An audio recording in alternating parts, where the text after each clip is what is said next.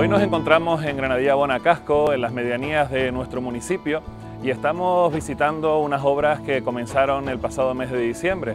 Concretamente hablamos de la rehabilitación del secadero de tabaco, un edificio de 1878 y que queremos convertir en un espacio cultural.